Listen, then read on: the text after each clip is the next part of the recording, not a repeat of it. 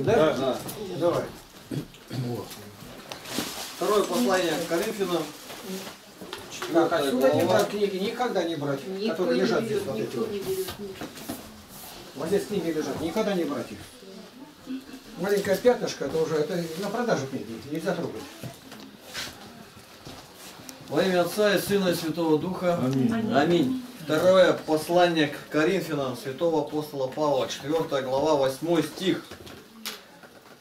Мы отовсюду притесняемы, но не стеснены. Мы в отчаянных обстоятельствах, но не отчаиваемся. Толкование. В какой мере, говорит, все есть дело силы Божией, что хотя мы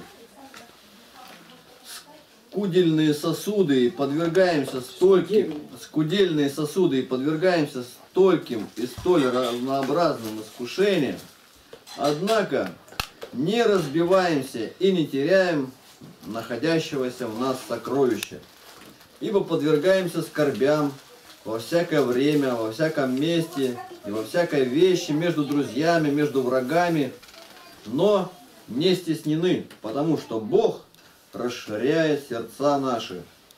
То есть, хотя подвергаемся бедствиям и стеснениям, однако, стоя твердо, не отчаиваемся и не побеждаемся, но в Боге находим помощь и побеждаем. Можно? Место Писания говорит нам Евангелие от Матфея, что будьте просты, как голуби, и мудры, как змеи. То есть в любых обстоятельствах христианин должен сохранить веру свою. Об этом апостол Павел как раз и говорит. Почему никакие скорби, никакие притеснения, гонения не сбивают христианина? Потому что он в надежде спасается.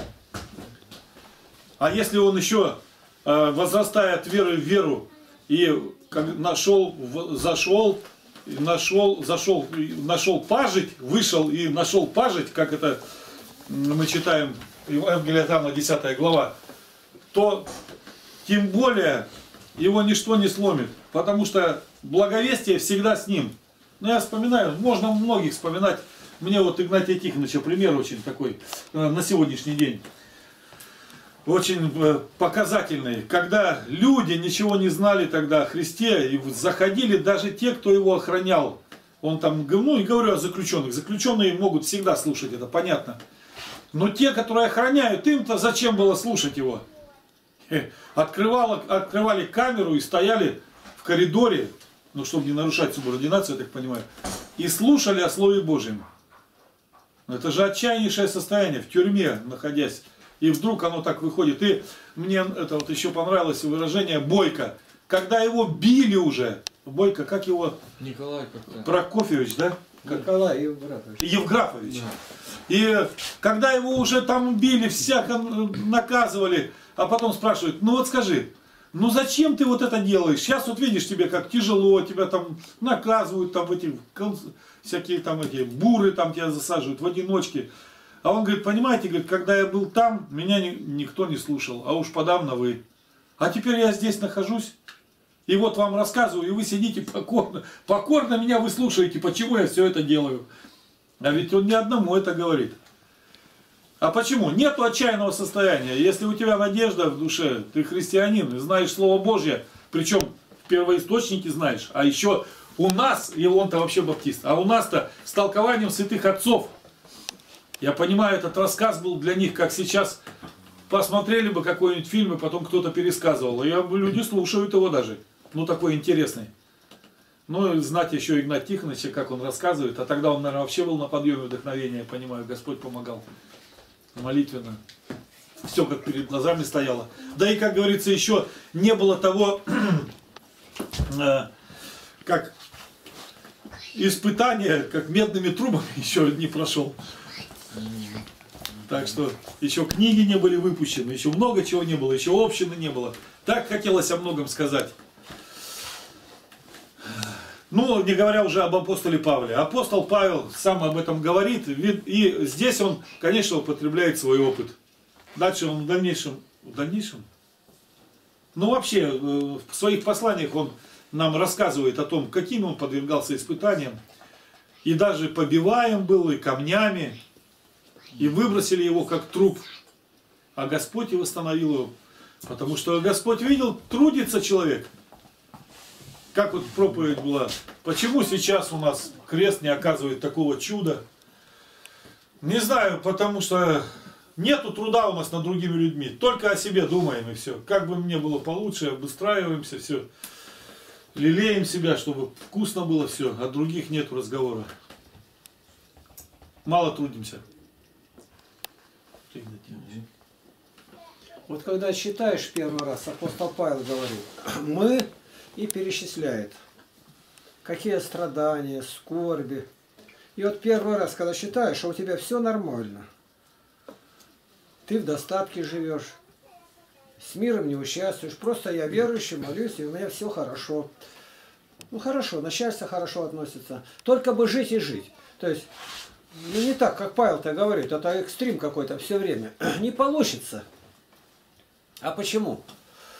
Ну, человек, который занимается, вот, бывает на мотоциклах, ездят по разным бездорожью. Так, не дают даже. Дают. Пару слов скажу. Говори. Воистину воскрес. Спаси Христос, откуда звонишь? А, ну, на занятиях, дорогой брат, на занятиях. И там да. Все, поклон. Всем От Виктора- Ага, Виктор ему тоже. Всё. Ему тоже. Вот так. Вот, как Ну, раз. а я бы хотел не так. Вот как это? Ну, то есть нормально живу. На работе меня уважают. И первый момент даже думал, что почему у него упал вот так. А я хотел бы, чтобы нормально было. Не получится. Если ты целиком на это... На... Вот, я полностью опустошен. Мое вояние нету. То есть я не забочусь ни о чем. Ну, хочу служить Богу. Хочешь? Полной тебе ложкой будет страдание. А почему? Только будь христианином. Вот человек, который на мотоциклах по бездорожью ездит, и все они... И вот на меня вышел позавчера один из Гродно, из Беларуси. Хороший человек. Уже второй раз вышел. Ну, а хобби как заниматься? А что? А они вот гоняют на мотоциклах по бездорожью-то. Я говорю, это самоубийство. Ну да. Ну ты же понимаешь, что ты себе не принадлежишь. Да у ж сколько переломов там было. То есть они по бездорожью, канавы, кто дальше прыгнет, вот они там по пескам, по камням и везде. Но сейчас он прилепился второй раз и уже не отходит. Задают вопросы. Ну, видно, человек осознал это дело. Ему можно быть переломов? Нельзя. Он вышел на такой путь. А можно так, чтобы он совсем не задумывался? Не придется. Я с таким лежал переломанным. Он там перевернулся, катился, на него на чем ездит, и дальше все переломано. Так и мы. Мы ступили на путь христианства. Ну, ладно, какие мы, неизвестно. Но впереди нас были люди. Вот я считаю, Ян Златоуст. Прекрасный адвокат. К нему обращаются, он обращается к Богу. Наконец делается известным. Пресвитером ставят. Он долго прятался, не хотел. Написал шесть слов, каким должен быть священник. Шесть слов священства. И только так, то есть по его, по Яну Златоусту вообще ни одного священника не может быть. Как бы, как бы. Но он соглашается, значит, он то, что написал, он соответствует этому. А дальше, ну дальше архиепископ, наконец он патриарх Константинопольский. Уважение. Царица его потребовала туда. Но он, он истинный христианин, в этом состоянии он не будет. А почему? А вот впереди что считали мы? Гонение, притеснение от лже-братьев. Вот это все на него надвинется. Как? Так его царица любит. Она не будет любить, будет гнать его. А почему? Я не знаю пока, но Писание говорит так. И вот там вдова Феогностова приходит и говорит, царица у меня виноградник забрала. А у меня это единственное, что было. Я питалась этим. А почему царица взяла? А у них царский закон был такой. Царица, она не может воровать. Ей что-то понравилось, она подошла, э, ягодку оторвала. Так она не в чужом. Все, с того момента, как она оторвала, в рот понесла, этот сад принадлежит ей. Она не кисточку своровала, а хозяина найдут. Царицу никто не упрекнет, что она своровала, этот сад ей принадлежит. Но она назначит цену, и она заплатит за этот сад. Но сад-то хороший. И она так и сделала, и хотела купить, а та не продает. У нас, говорит, наследственный этот, рядом около дороги. Ну как нет, я царица, я, он мне принадлежит.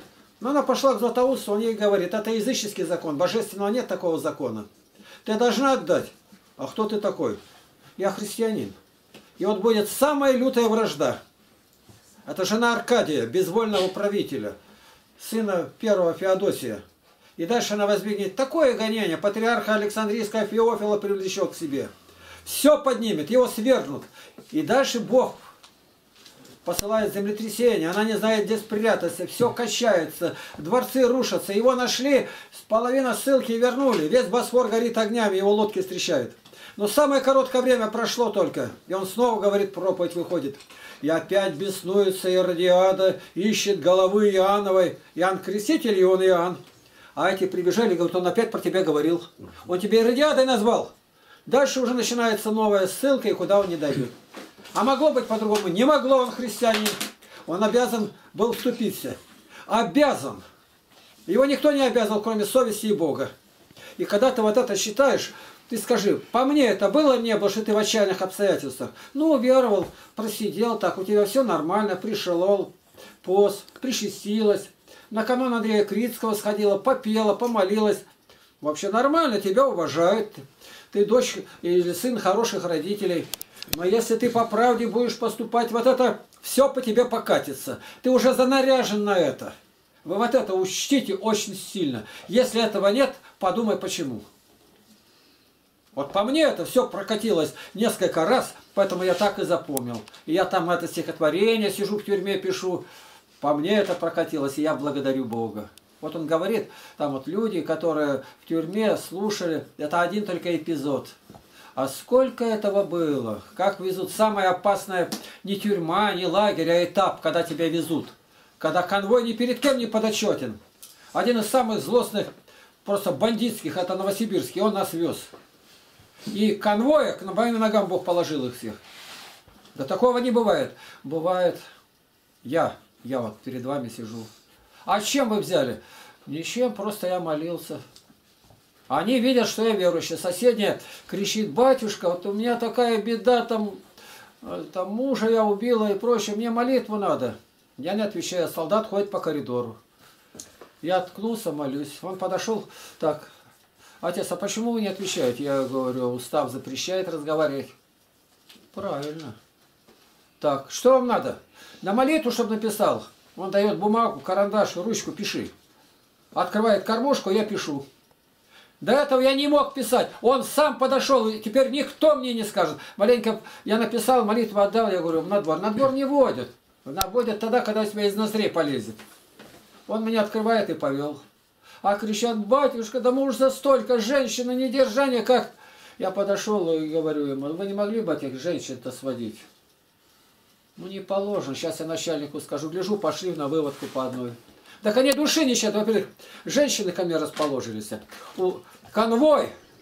Я ничего не делал. Почему? Надежда Васильевна знает, сколько молились. Молились везде, во всех странах. И в Америке, и в Канаде, и в Японии. Это мне потом пошли письма. И в Синоде, которые меня не знали, они любят узников.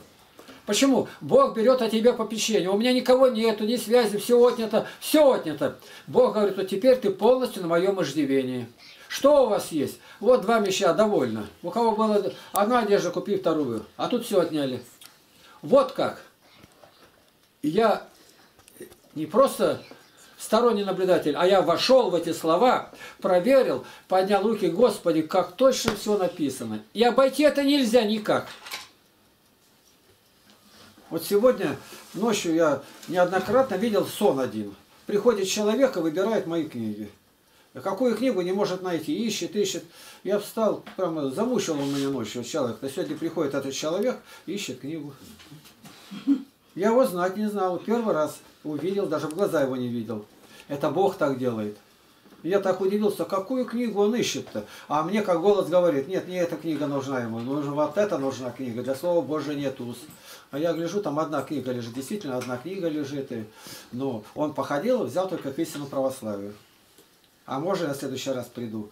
Спрашивает воскресенье, сейчас пошел, Борис звать. То есть Бог предупреждает, пристраивает, почему мы его дети. Только открой душу, и он в душу тебе все это заложит. Ты вот отчитаешь, когда, и ты все время тряси сам себя, Господи, для меня ли этот устав написан? Войду ли я в это русло? Или ничего нету? Ну, шел, упал, там, сломал э, шейный, говорится, и все, и дальше лежу, и ничего нет. Или в жизни это будет. Там тоже твой крест будет. Там по другой шкале ты пойдешь. И она не минует. Почему? Бог разнарядил и показал. Мы не знаем, болеет ли наш президент, а мы усилили молитву. Усилили, молимся. И это как? Это скажется на нем и на нас. Нам дано, говорит, не судить, а молиться и заботиться. Вот и все. И вот это Слово Божие живо и действенно. Оно проникает до разделения души и духа, составов и мозгов. Все. Девятый стих. Мы гонимы, но не оставлены, не злагаемы, но не погибаем. Толкование. Люди гонят нас, но Бог не оставляет нас. Ибо это попускается для того, чтобы мы упражнялись в борьбе, а не для того, чтобы мы пали. Противники, говорит, не излагают нас по телу и в вещах внешних, но мы не погибаем, благодушествуем и наслаждаемся постоянством Духа, и при этом сохраняем при помощи Божией самое тело. Хотел бы вспомнить вот ново- новомучеников о декларации митрополита Сергия, которого, от которой отозвались со всей искренностью верующих людей. Это вот новомученики, соловецкие епископы многие, и очень многие епископы, которые не согласились с декларацией. И так они в безвестность бы канули, если бы не было тех, кто ушел за границу все-таки. Но они тоже потерпели гонение своеобразно, но не до смерти до такой уже, успели выскочить. И Здесь же очень многие, десятки епископов, не говоря уже о тысячах священников, которые подверглись этим репрессиям, потому что не приняли эту смертоносную для души верующей декларацию, которая полностью расхолаживает и как раз ведет вот, э, к той диванно-постельной э, религии, которую сейчас мы видим. Почему вот Игнатий Тихонович с таким чувством э, борется всегда с этим? Почему он всем вот своим видом и вообще всей своей деятельностью показывает это?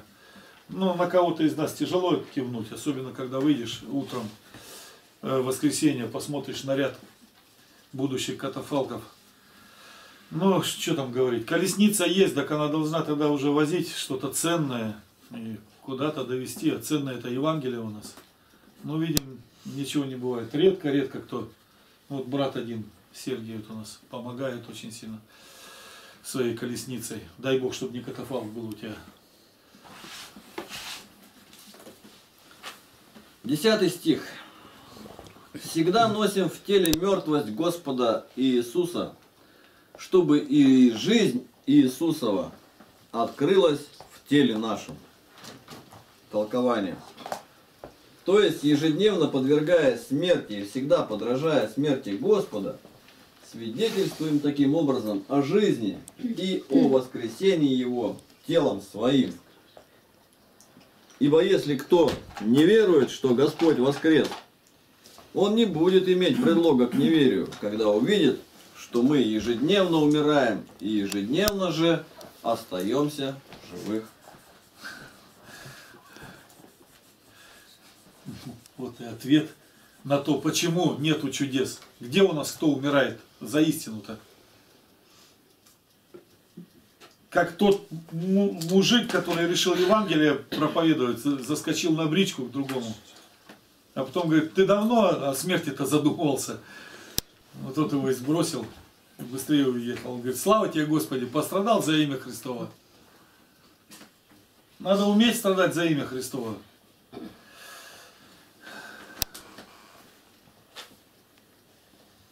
11 стих. Давай. «Ибо мы живые непрестанно предаемся на смерть ради Иисуса, чтобы и жизнь Иисусова открылась в смертной плоти нашей». Толкование. Этим объясняются слова «мертвость Иисуса», которые были неясны, ибо Он обычно разъясняет неясно сказанное. Слово же – чтобы и жизнь Иисусова открылась, кроме предыдущего толкования, должны быть истолкованы еще так. Как мы ныне подвергаемся смерти Христовой и решаемся заживо умереть за Него, так и Он благоизволит умерших нас оживотворить тогда. Это говорит апостол и в другом месте. Если же мы умер- умерли со Христом, веруем, что и жить будем с Ним. Римлянам 6, 8.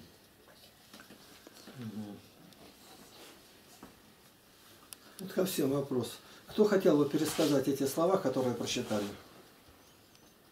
Свежие, не вышли еще из помещения. Своими словами перескажите, что он сказал. Начни первую. Как это понять?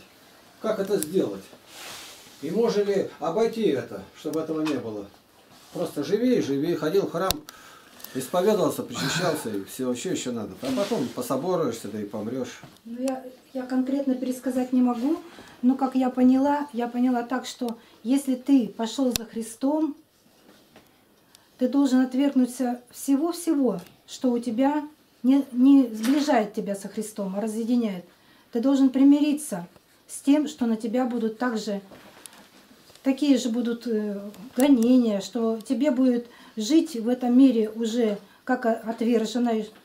Тебя не будут понимать люди, но ты должна всего-всего отвергнуться, что у тебя было, как ты жила. Всю, всю грязь из себя вычистить и идти за Христом, исполнять Его заповеди. Потому что ты избрала этот путь. А если ты избрала путь, ты, значит, должна следовать э, за ним. А каждый путь предполагает то, что ты должна исполнять ну, законы, заповеди Божьи.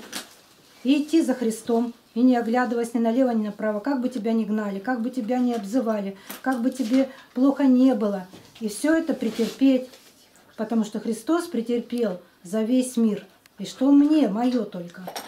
Поэтому нужно всегда смотреть на, на- на раны Христа, на то, что ты выбрала этот путь, и Господь дает силы тебе по нему идти. Я вот поняла так, что нужно отвергнуться всех-всех своих старых, все, что тебя тянуло, и идти за Христом, облегчив, облегчив себя от всего житейского. Какой-нибудь пример. И приведите так, чтобы это еще более наглядно было в жизни. Коротко, мы крещение приняли, мы погреблись, мы как бы умерли для прежней жизни, мы воскресли заново. И также, значит, мы должны и в себе все это помнить, что раз мы умерли для той жизни, значит, воскресли, значит, и Господь тоже воскресший, Он и нас воскресит. И мы четко это, христиане, должны это осознавать, помнить и другим об этом говорить. А вот я просто сейчас стану и скажу. Я вчера исповедовалась, а вчера мне был звонок утром, перед тем, как идти на службу, был такой звонок из Тюмени.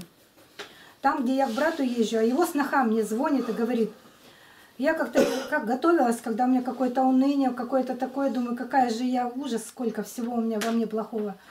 И она мне звонит и говорит, Люда, я, хоч- я ходила в церковь, я исповедовалась, и вот ты мне скажи, пожалуйста, как мне, сказал священник, сказал, ты должна почитать, э, ты должна почитать к причащению. Он сказал, что я почитать должна что-то к причащению. Я говорю, ну молитву к причастию. Она говорит, нет, он сказал не молитву, он сказал, эм, он сказал по-другому, как-то и назвал это все. Канон. Нет, не канон. Он- нет, не по... Ну, неважно. Он сказал как-то так очень странно. Я так и остолбенела. Она когда утром сказала, что она пойдет причащаться, я говорю, я приду, и я тебя это сама поздравляю, э, что ты так э, решила. И тут драк, я вдруг иду, и ве- вечером она говорит, а он мне сказал то-то, то-то. Я так говорю, слушай, Света, так, ты- так ты сказала, что ты на занятия ходила, что ты Слово Божье читаешь. Она говорит, я, не, я стала читать твои книги, которые ты мне дала. Стала толкование смотреть. У меня все перепуталось, все перепуталось. Я батюшке говорю, батюшка, а он говорит, все, читай в начале жития святых. Ты там все зап... ты не понимаешь, что. Ты читаешь Слово Божье, и жития святых на хотя бы на какую тему у тебя ты не понимаешь. Я посчитала, что она уже как-то готова. А тут она даже не знает, как причащать, как что нужно читать. Я говорю, слушай, а ты знаешь, ты-то страх Божий-то имеешь, хотя бы что-то у тебя. Есть у тебя вера какая-то? Она говорит, я считаю, что вот у меня есть желание ходить в церковь. Я говорю, я не при желании ходить. Вы там сейчас модно так у вас все ходите. Я говорю, ты, у тебя есть желание встречи со Христом, чтобы ты могла его принять. Вот как меня принимаешь в гости, можешь так его принять? Он говорит, ты что говоришь, ты как я могу тебе его-то принять? И я говорю, вот ты когда дойдешь до этого, а сейчас никакое тебе не надо причастие, ты исповедалась и радуйся, а причащаться, как бы тебе не сгореть и как бы не умереть. Я говорю, почитай эти молитвы, и когда ты прочитаешь, я знаю, что она такая обязательно, и ты скажешь, как э, у тебя сердце расположено. Она мне сейчас утром звонит и говорит, я-то вчера прочитала, да я как напугалась-то, я так напугалась, я же, я же вообще никто, и звать меня никак. Да как же я бы, да ты как хорошо, что мне это сказала-то, я буду сейчас ходить на занятия. Я ж, я поняла, что я не могу, как ты, там поститься, ходить в платке, там э, ходить в церковь, ты как за стол так молишься. Я этого ничего не могу. Я говорю, да это, это не важно. Лишь бы тебя был страх Господень, любила бы ты, чтоб Христа, чтоб хотела идти по его заповедям, по его стопам. Она говорит, у меня этого нет. И мне надо тогда ходить на занятия, изучать Слово Божье. Слушай, пример простой. Вот приезжает у нас потеряет человек в прошлом году и желает строиться. А где строится, там до него построенный дом был. Он посмотрел, он гнилой. Что он делает? До фундамента, до фундамента расчищает. Вот это необходимо все начинать с нуля. Что у тебя было, навыки, опыт, убери, освободи. Чистый сосуд представь Господу. Вот это мертвость в Господе. Мы умерли с Ним, умерли. Вот это первое толкование. Вот пример из жизни, когда строится. Это сказано Иеремии. Я поставил тебя разрушать, уничтожать. И в конце говорит, насаждать и возвращать. Нельзя насаждать, пока там ты не уберешь, что это, росла крапива и прочее. Надо все с корнями выдрать. Вот опыт мы этот имеем в жизни, но не знаем, как его применить. Почему нужно исследовать самих себя? Исследовать во свете Библии. А что там говорится? А у меня вот это, да совсем не по Библии. Выбрось. И никогда за это не держись. Тем более начинают при- применять какие-то оправдательные мысли, документы. Ничего этого не надо. Полная, безоговорочная капитуляция. Когда в Берлине были, первое заключение мира какое было? Белый флаг выкинули, пришли генералы, там а Гитлера-то уже нету. Вначале говорит, там мы хотели условия, Жуков сказал, не разговаривать ничего. Запишите, безоговорочная капитуляция. Полная, абсолютная. Складывайте оружие, вы арестованы. Единственное, что можем вам гарантировать, жизнь до суда. До суда. А после суда вздернут кого-то еще на галеры. Вот так мы перед Богом. Полная, абсолютная капитуляция. Да я же трудился, я так любил. Вот об этом речь идет. Ты не отрекся своего. Все полностью, с нуля. С нуля начинать. И тогда Бог тебе покажет. Чистый сосуд, и он начинает тогда вливать. Но тогда уже с плотью и кровью ты от нее отрекся. Уже не советуйся. Почему вы не можете? Вот Серафиму Саровскому, когда задали вопрос, ну вот как-то ты сумел, так он говорит, решимости не хватает. Вот это пятое качество лидера. Решительно порвал с прежним, возврата никакого нету. Да она у меня вот была жена, мы жили, тут трое ребятишек. Ну ты знал, что у нее живой муж, живой, отдай ее обратно, верни. Вспомни, когда Давид захватил говорит, верните мою Мелхолу. Первое, что я тебе ставлю условие, вернуть. У Бога другая шкала. Вот у нас дождя нету, но первым делом что? Надо хоть как-то провода какие-то подтянуть, трубы, разбрызгиватели. Неоткуда. В крайнем случае пойдут к батюшке. А теперь уже молиться, а дождя нету. У Израиля такая же история была.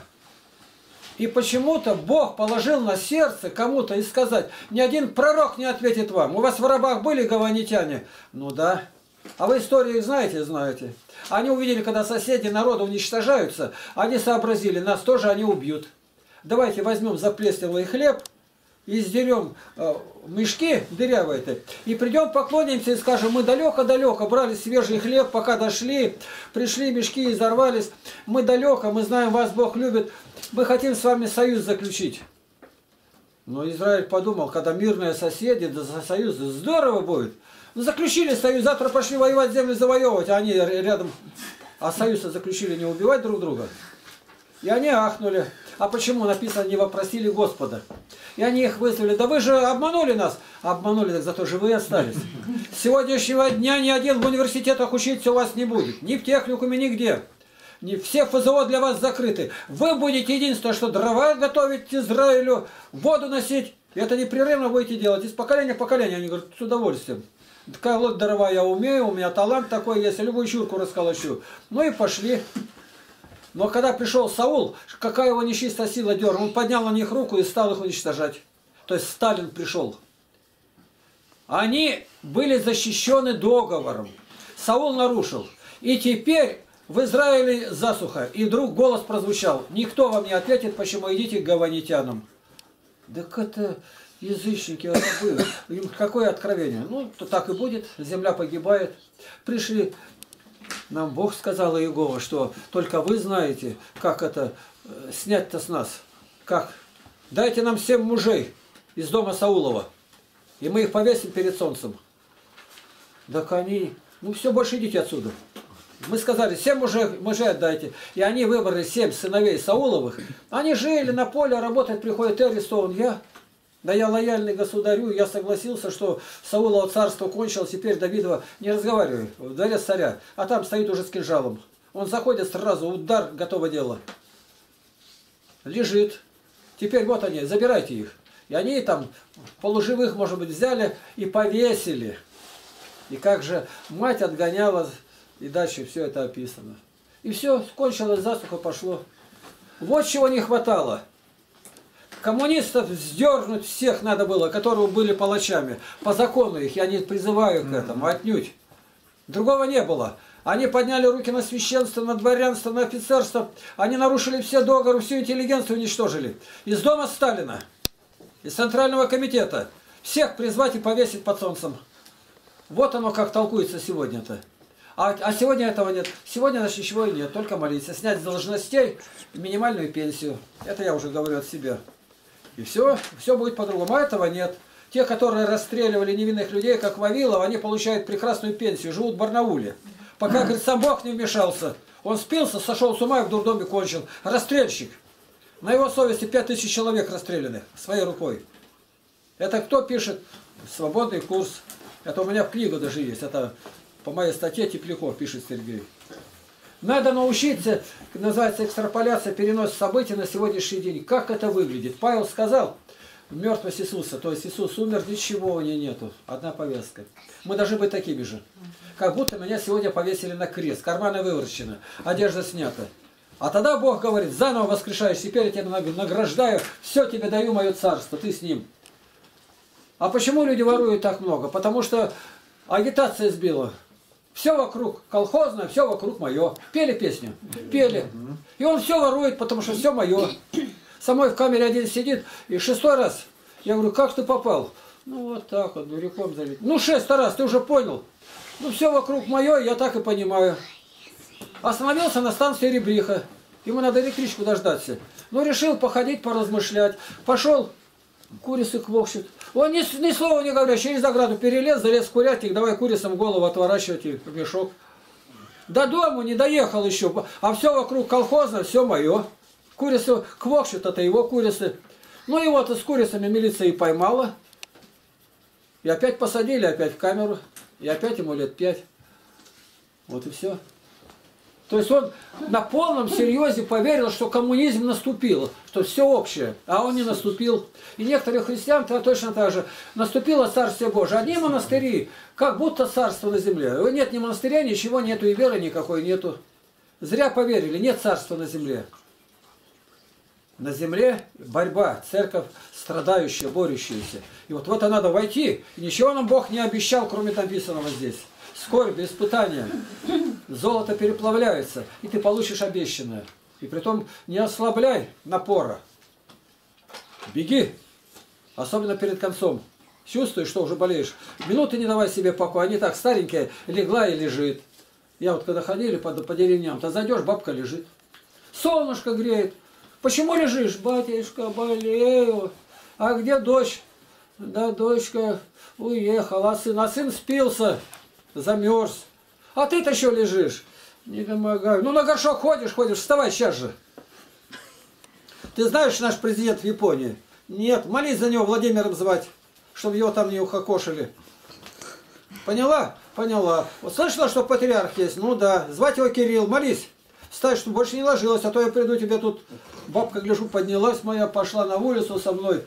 Вот это, скажет, беду нажила, дверь-то не заперла. Я по деревням как пройду, так за мной сразу и печки дымятся, и трубы. Все, я их подниму до одной, с полумертвые станут. Почему? Я их люблю, бабок. Я никого так в жизни не любил, как бабок. Малыш-то. А ты не бабушка. В первом Баптист, классе настоящий баптист. бабок влюблялся просто. Все, мама что-то приготовит, пироги, суп, я к ним бегу, несу. И вижу, какие они радостные, как они молятся, и все за тебя молятся. Может, оттуда все идет. 11 стих, Причем уже. Двенадцатый. 12. Так что смерть действует в нас, а жизнь в вас. Толкование. Смертью называют здесь искушение, говоря, мы находимся в опасностях, а вы наслаждаетесь жизнью, которая проистекает из этих опасностей. Именно вследствие возвещания вам Евангелия, через которое вы живете вечной жизнью. Дальше. 13 стих. Но имея же, но имея тот же дух веры, как написано, я веровал и потому говорил, и мы веруем, потому и говорим. Толкование. Выше упомянул об искушениях и о смерти, потом сказал, что и от них избавил нас Иисус и привел основание, что для того именно избавил, чтобы утвердить в своем воскресении. Теперь утверждает, что это должно основываться на вере, а не на одних умствованиях. И говорит, так Давид, находившийся в искушениях и освобожденный от них только Богом, сказал, я веровал и потому говорил. Так и мы, имея тот же дух веры, который он имел, веруем и потому говорим, что как Иисус воскрес, так и мы победим опасности и опять будем воскрешены. Заметь, что в Ветхом и Новом Завете один и тот же Дух. Заметь, это для тех, которые хулят закон. Ну, смотрите, а в обратном порядке научитесь рассуждать. Это очень полезно для познавания более глубокого. Веровал, потому говорил. А теперь скажем, а не говорил почему? Потому что не веровал. И поэтому не идут люди на благовестие, никуда они не идут. Он молчит и хороший. Почему? Веры нету. А у меня вера в душе. Вера в душе это прямое предательство. Вот здесь как раз этот стих в обратном порядке. Это законно так. Я веровал, потому и говорил, везде и всюду буду говорить. А вера, ты почему молчишь? Теперь обратно. А почему не говорил? Ну, Потому что не веровал. Понятно? И поэтому не надо никого побуждать к благовестию. Вот у старобрядцев у них просто. Я говорю, а почему не идете? А зачем? У нас отцы никогда не ходили по домам, мы не сектанты, не баптисты. Лежало до нас тысячу лет, пусть дальше лежит. Это здорово. Лежало тысячу лет. Это я у братьев Карама, это Карамазов говорю, Бондарев, сказки, у него написано. Медведь лежит, и комар ему нос укусил. Он ударил, а комар там взлетел, и выше глаз. Он по носу сам себя как залимонил. Посмотрел. Да что ему не сидится? Летает. Посмотрел, вершины сосен качаются, и сосны что-то качают. А что ветер-то он не знает, он в ямке лежит. -то. Посмотрел, и облака, гляжу, нету. Говорят, и земля крутится. Ох-ох-ох. Как подумаешь так-то, во всей вселенной один только я хороший. Лежу себе, никого не трогаю. Не трогай. А началось размышление, это с комара. Я хвалю. А вывод-то правильный. Лежит старовер, и никому он не нужен. Старобрядец. Истовый. Вон, Володя хочет сказать. Но у меня небольшие свидетельства, короткие расскажу. Тоже вот так во время благовестия идешь, раздаешь Евангелие и говоришь о Христе. И кто-нибудь подойдет и как бы с искушения, а ты вот ты хоть веришь в то, что ты говоришь-то? Я говорю, потому что я говорю, говорю, вот потому я и верю, что раз э, это. И у меня был один случай, в автобусе я ехал, и тут девушка такая высокая очень села, и с другой стороны мужчина сел. Но я помолился и решил им визитки предложить. Начал говорить сразу о Боге, там, о Христе, как-то рассказывать, что на сайте, и перешел на, на Священное Писание. О спасении начал говорить. И эта девушка рядом сидит, а вот она потом послушала, говорит, вот я говорит, слушаю говорит, вас, вот я верю в то, что вы говорите. А бывают люди, говорит, встречаются, у них, говорит, знания, но они, говорит, без веры это говорят. Я тогда пришел, Игнатьевну еще рассказал, он говорит, это хорошее свидетельство. говорит. Я говорю, дорога исключил Ягла Николаевича Пести. А мужчина, я не раз рассказывал, а мужчина сидит против. Вот, говорит, я верю, говорит, я не верующий, я верю. Верю в то, что вот этот мужик, который пропадает, он верит. Без веры таких не бывает речей. Это Яков Полонский пишет. Казалось, слепцу в славе неба являлась, дрожащая к небу рука поднималась, и слезы текли из потухших очей. Слепой проповедник был. И это людям на сердце положится, это вера. Вера. вера. И вера передвигает горы. Горы, то есть люди, которые неподвижны на одном месте. Вот если я бы дал вам сейчас э, прослушать, э, прочитать, я копирую все время, вот идут о- отзывы-то. Вот сейчас только, только сейчас зашел, собрание поставил, но сейчас заканчивается. И тут я так полсон понял, что это или швед, или эстонец, кто-то из них, из двоих. Какие он слова мне написал. Смысл такой, какую надежду вы в нас во всех вложили, что не все потеряно, что в православии еще жизнь есть, что еще могут пробудиться священники. И вы сколько делаете, и вас поносят, и вы, однако, продолжаете делать. Понимаете, только не переставайте делать. Понимаете, нам такая надежда. Вчера мне добрый десяток таких поступил с разных стран, с разных республик. То есть я, я не думаю, просто я отвечаю, говорю и ни перед кем со хвостом не виляю. А людям это на сердце положено.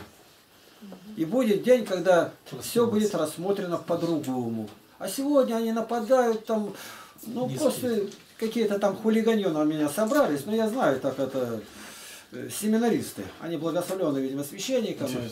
Безобразничают ужасно, поносят. Но это награда твоя. Что попало, говорят. Это охамелое до мозга костей. Просто говорят, ну, видимо, матерки у них стирают там.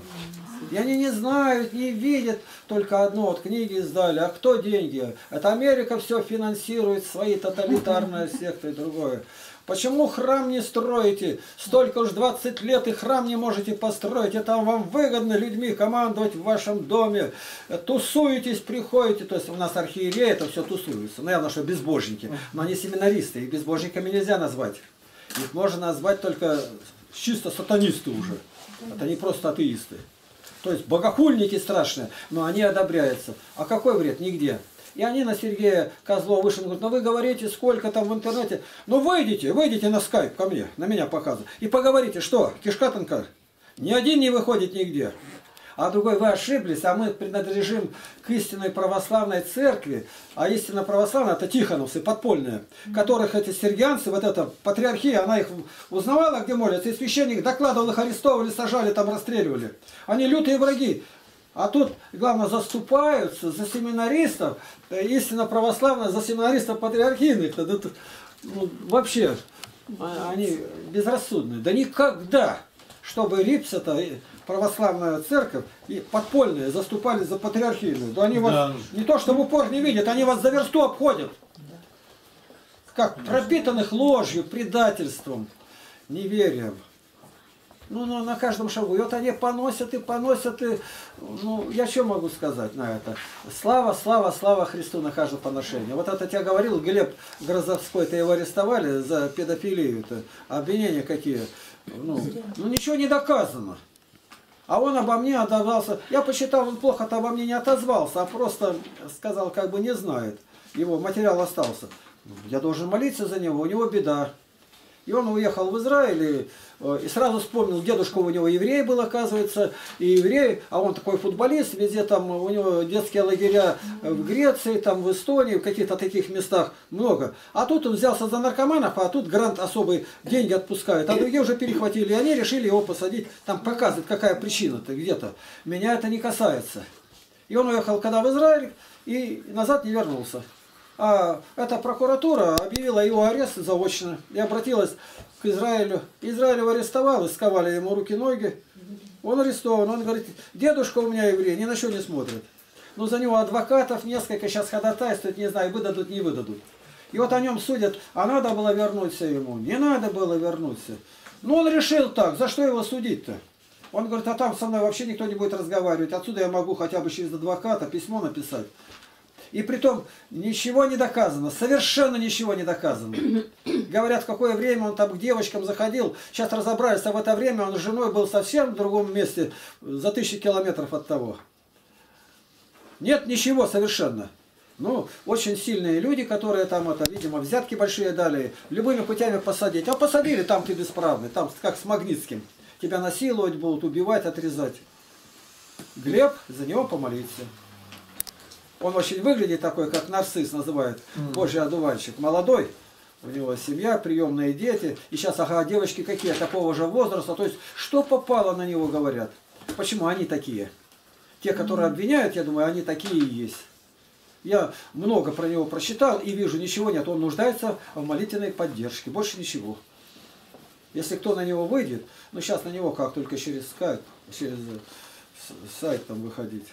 Никогда не поддерживайте э, хулителей, никогда. Особенно, когда тот человек умер за себя не может заступиться. Вот сейчас Немцов, на него -у -у, сколько гонят, он сколько зла сделал. Никогда свой голос туда не вставляйте. Его нету, и можно говорить что угодно.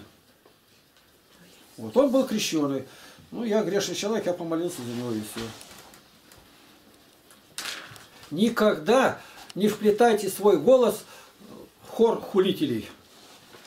Если пал человек, умер, и ты его поддержал, обрадовался, Писание говорит, Богу это не угодно, он поразит тебя. Даже враг ослеповал, враг застреленный, и тогда не радуйся. На патриарха э, сколько разных могут покушений. Все время молитва держите. Молитва помоги, сохрани, оборони. Люди всегда думают, вот сделаем Майдан, будет лучше, а оно только хуже и хуже. Лучше, когда мы соглашаемся и принимаем. Вот у меня заболело, вот немножко было тут. Я только одно, Господи, да какая болезнь-то, не заразная, там что-то внутри, ни, на коже никаких прыщей нету. Ну, я это перенесу. И правда, прошло несколько дней, все прошло. А как? Никак, не ешь. У меня лучшее лекарство. И отказался есть и перестало давление это внутреннее воздействие удалило. Давай. А, давай. 14-15 стихи. «Зная, что воскресивший Господа Иисуса воскресит через Иисуса и нас, и поставит перед собою с вами, ибо все для вас, дабы обилие благодати тем большую во многих произвело благодарность во славу Божию». Толкование. Чему же, говорит, мы веруем и что знаем? То, что тот, кто воздвиг Иисуса, и ныне исхитит нас от опасностей, и напоследок воздвигнет и представит нас с вами к наслаждению благами, возбуждает их к вере и доброй жизни, намекая же на лжеапостолов, которые говорили, что через их посредничество сообщаются их ученикам, от Бога благо говорит, все для вас, и самое воскресение, а не ради того или другого. Совершает же это Бог и многим дарует благодать, чтобы при изобилии благодати преизобиловала и благодарность, приносимая многими славу Божию. Почему же апостолы, приписывая благодать Божию себе, омрачают и славу ее?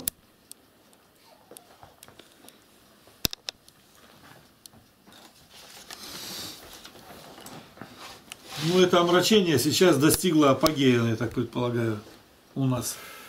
Потому что, ладно, хоть раньше коммунисты были. До того там это разделение церкви, понятно. Но сейчас-то что мешает? Все уже все узнали. Манифест царя 905 года. Древле православные церкви с э, новообновленцами подровнял всех. Жить только в мире, радоваться и благовествовать везде. Ну и получать свое от мирской власти. Ну вот патриарх в последнее время, он там призывает, конечно, об. Призывает к тому, что надо к Евангелию там прийти, там и о Христе даже говорит. Но дальше сам-то он примера не показывает. Теперь самое главное осталось, ты покажи пример. А примера-то нет никакого. Союз с властью такой, что декларация это так, ерунда уже, меркнет. Не просто там освещают бронепоезда или еще что-нибудь. Таких батюшек дают в армию. Они сами с самолета прыгают прямо вместе с десантниками с этими. Летит и крестится, молится. Вот они как смотрят на него, как, как на Бога. На парашюте, правда. Николая нет. Мы были у одного, Бобриков Игорь. Ему он со мной ровесник, кажется. И продолжает все еще с десантниками прыгать. О, И у него дома флаг висит ВДВ. И какие у него грамоты. И он говорит, я собираюсь сейчас лететь. Вы не могли бы помочь нам парашюты достать? Парашютов 5 хотя бы. Говорит, один парашют 250 тысяч. Он- И это все на видео записано. И он прыгает, и где-то у него около трех тысяч прыжков. Это же вообразить невозможно. Ну, видимо, он первое место занимает среди этих. Какие у него грамоты, награды.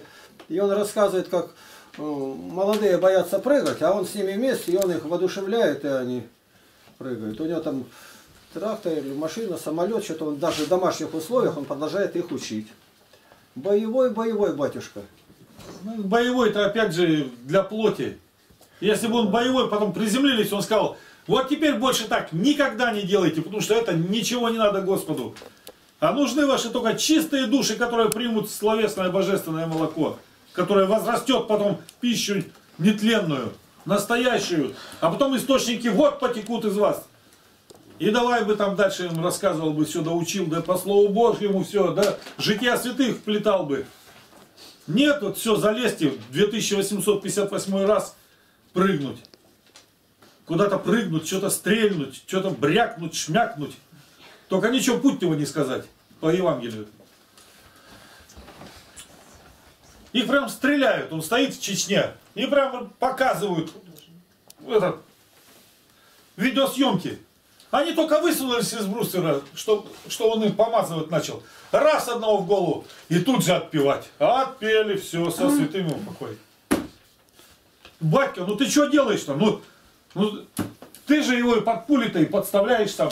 А что, они героически встали креститься. Вот. И никто его не обвиняет, ничего. И все, о, какое мужество, какой здесь религиозный а, а, подвиг и духовный и так далее. Господи помилуй, вы о чем говорите-то? Где же духовный подвиг? Парнишка не прочел ни одного слова Евангелия.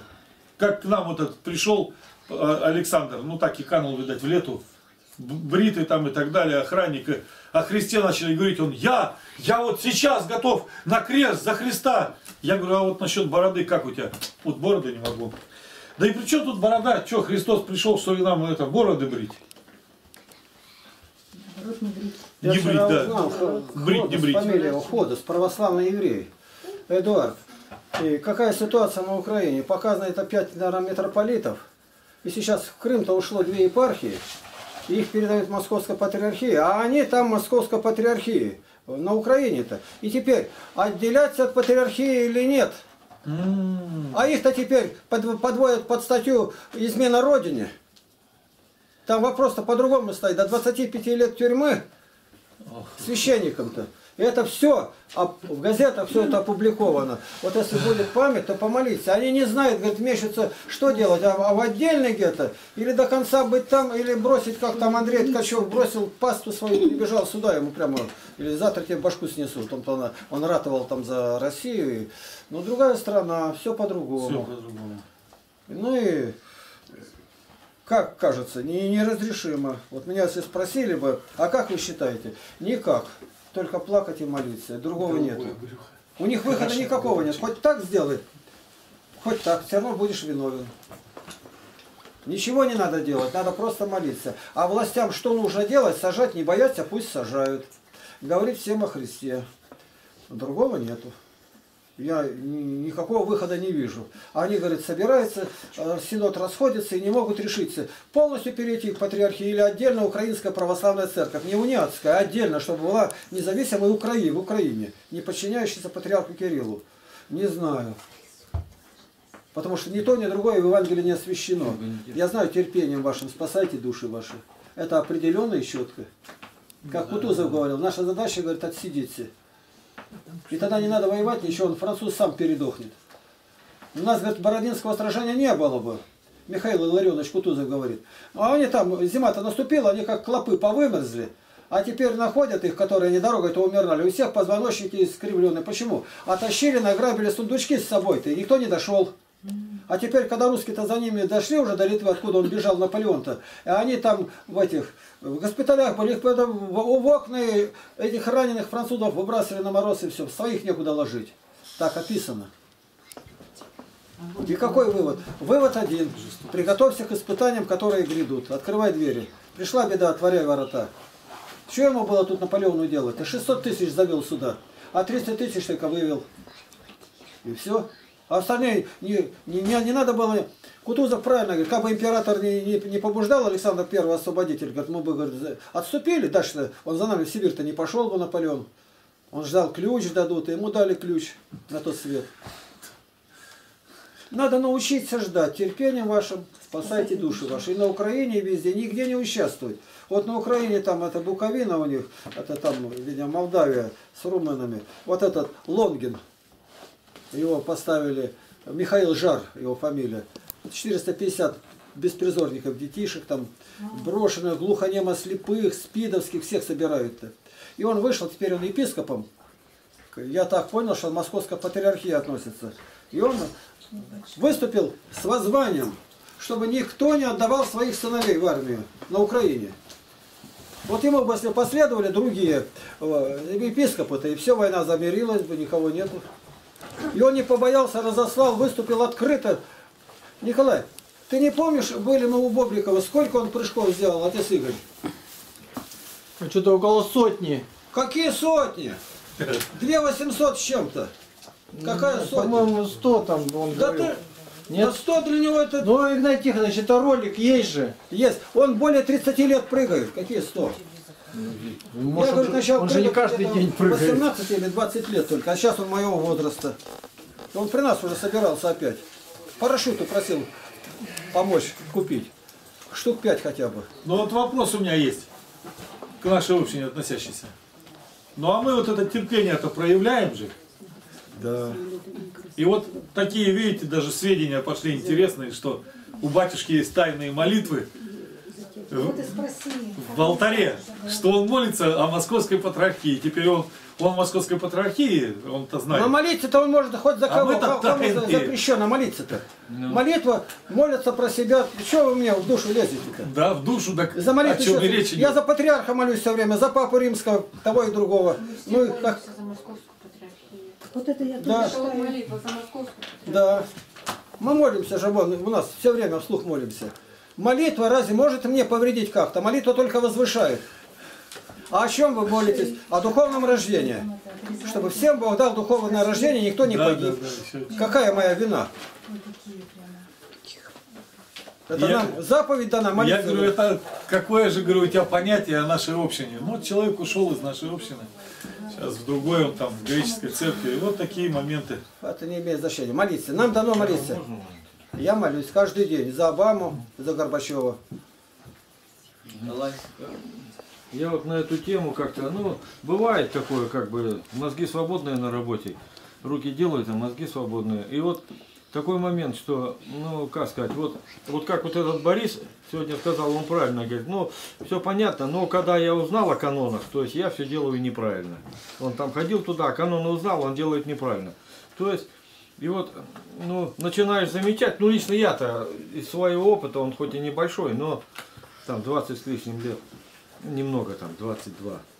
Вот, и даже есть, садишься, вот, ну, сажусь, к примеру, сел, там чашку или что-то положил, перекрестился, а они возьмут, ну там кто-то сосед свою чашку от моей отодвигает сторонку. Ну, не знаю, для чего, что ли, с глазу боится, что ли, чего. Вот. Ну, и прочие, вот такие вот как бы, ну, свидетельства, что ли, они такие, ну, привычные для христианина, я считаю, там, перекреститься, что-то сказать, да, он, ну, как дела, я говорю, да все, слава Богу. То есть, даже вот это, говоришь, слава Богу, и то это его аж всего, ну, передергивает, знамо кого, того, который сзади. Так вот, я, я к чему? И теперь бы я вот для себя применяю, вот бывают такие как-то минуты, что, а если вот я вот сейчас вот в этом состоянии, вот, ну, с, с моими мыслями, и вот как я им свидетельствовал, говорил, и становлюсь такими же, как он.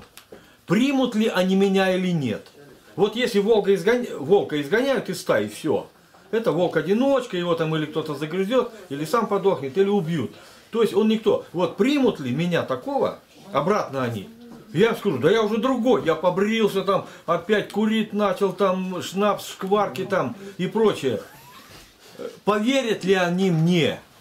И я вот так думал, думал, не, а, я им буду вообще не интересен. Сейчас они подходят, что-то спрашивают там, ну, бывает такое, что-то поговорить. Откуда ты все знаешь? Я говорю, да я не знаю, я изредка читаю Библию и знаю оттуда маленько. А там что, про уран написано, что ли? Или там про, про литий, каким его э, светом осветить и, и что с ним будет? Я говорю, да все там, у Бога там на все ответ есть. И я понял, что они не примут меня, я им буду неинтересен. Как черная ворона среди белых, они себя считают ну, правильными людьми, а я-то неправильный считаюсь. И, и вот этот момент такой, понимаете, вот он в жизни вот так определится, если вступил ты на этот путь, все, не надеяться, что мир опять тебя возьмет. Вот те, э, ну вот, которые наши бывшие, э, так сказать, ну, сообщенники ушли от нас. Мир-то их принял, они в мире так, а они не могут туда вписаться. Уже он не может быть таким же.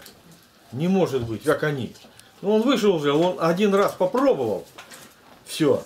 Он уже не может, и мир его не принимает. Я думаю вот так, потому что закон природы, который Бог установил там, что если ты вышел хоть раз, все, почему этих вон стариков, там, якуты там унесли и все. Ну и все, чтобы он там спокойненько почил в своем там э, рассуждении и прочее. Вот так и это. Поэтому, если уж мы вз- взялись За гуш. за гуш, то полезай в короб. Всё. Учительница детям доказывает, Бога нет. Но один бестолковый такой, Бога нет, а бабушка молится. Ну, бабушка старенькая, Бога нет.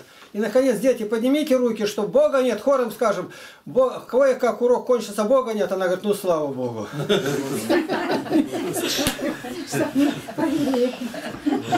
Это как с Аллилуевой у Сталина вышло, да? Жена Аллилуева.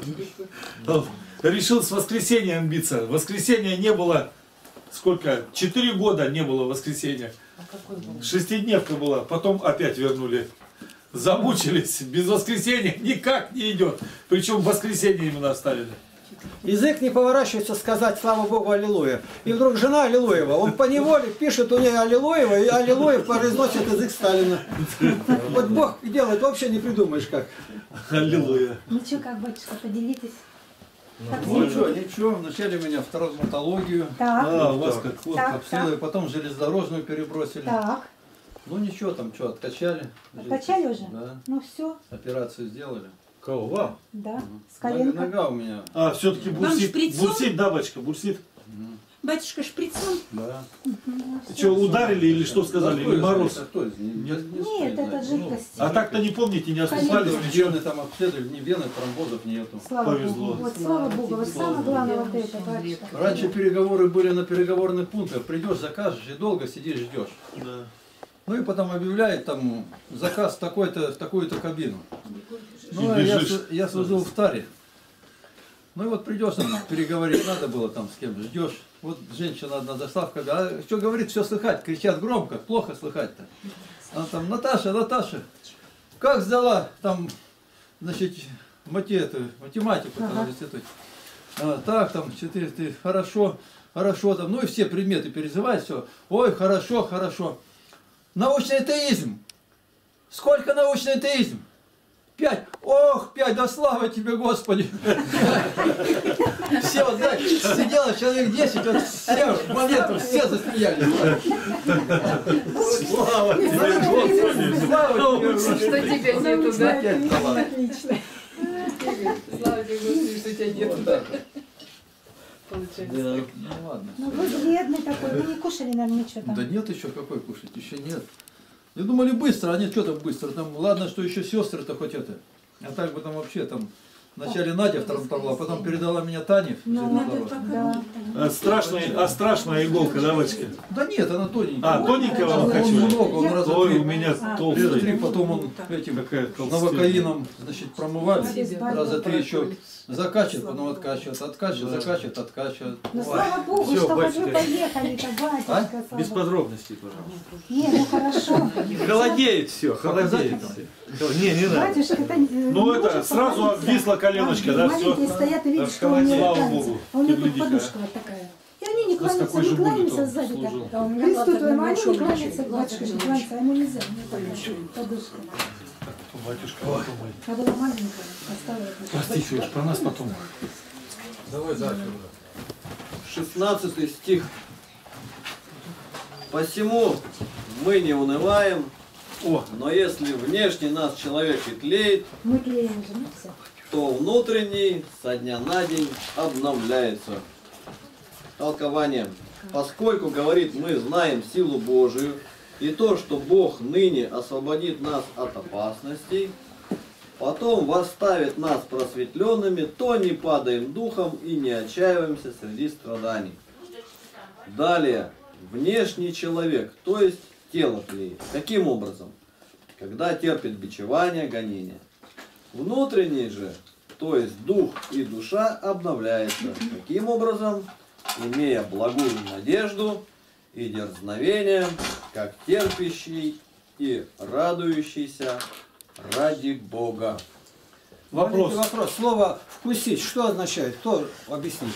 Давай, грамотно объясняй. Слово «вкусить». Попробовать. Ну. Попробуй. Вкусить. Что? Познать. Познать. Ну, слово «вкус», «вкусить» как-то имеется в виду, что э, кушать к этому имеет отношение как-то? Нет. Нет.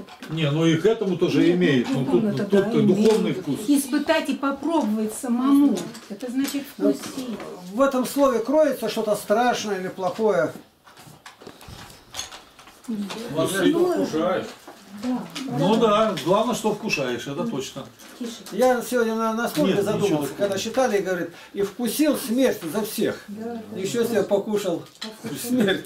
Я, я стою, ой-ой-ой, вот это вкусил. Принял, да. Это надо же как отно- относиться к этому надо. Смерть. И о смерти сказать вкусил, сколько считал, наизусть знаю, но никогда не задумывался. Испытал на себе. Но это вот чаша смертная. Ну да. Это испытание уже не, потом не И главное, вкусил за всех.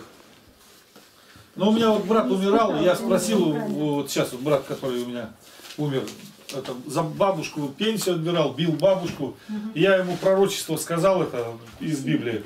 Говорю, за то, что ты, говорю, не почитаешь старших, я говорю, ты мало на земле проживешь. Ну и он последние дни вообще жить не хотел, время даже не дни, а года. Он прям отказную написал в одну больницу, в другую больницу, отказную. Отказывается, все. Мать его в больницу сдает, Одна мать осталась, 78 лет сейчас ей, ну, то есть старенькая уже. Он оттуда убегает, ну, еще мог ходить. Опять сдает, он опять убегает, анализы не проходят. А отказные пишет, они ему раз отказ, они же с ним драться не будут. И такое все. И э, пошел в туалет. В туалет пошел, говорит, она его придерживает. Подошел, говорит, сел на унитаз, говорит, затрясся, говорит, и умер на унитазе прям. На месте. Марина говорит, моя жена-то говорит, и жил, говорит, грешно, и умер. Смешно. Я говорю, точно, так это не... Ну, это не она сказала, это она повторила. Так и есть. А сколько лет? 54 года всему. Он, это однозначно, это прям про него разговор. Как он себя вел со всеми, все его бросили в конце. И дочка, и сын, даже уже при смерти он был, и не приезжали. Так просто на мертвого взглянули. И когда он в гробу лежал, я посмотрел, он такие усы у него отрос- отросли небольшие. Нос такой горбатый. И так он сильно мне напомнил Иоанна Грозного, который почил. Прям фильмы показывают. И именно с таким носом, вот такой кривой нос стал. Был нормальный человек, все. Ну, старик просто, полностью разложившийся старик. Вот такой худой, как доска, велосипед. Он ростом выше меня еще. Ничего, ничего не осталось. И так до конца все. И так и увел. Я тетя Маша говорю, тетя Маша, я говорю, прожил, говорю, совершенно никчемно, говорю, никогда никого не слушал, все хотел делать сам. По своему, а сам глупый-глупый оказался. Она говорит, ну, он, говорит, жил как хотел, говорит. Его заставить жить по-другому нельзя было. Ну, то есть, чтобы Господь Бог и выполнял бы он заповеди Божии, это никогда бы не было. И отпевает поп рядом там стоит. И Его? брат мой подходит, ну, его брат младший, мой двоюродный брат Сережка подходит и такой, вот, Игорь, ты-то уж точно знаешь, а чё ж мы его не отпели-то?